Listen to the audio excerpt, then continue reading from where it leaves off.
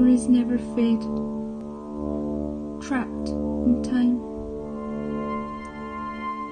A house that was once.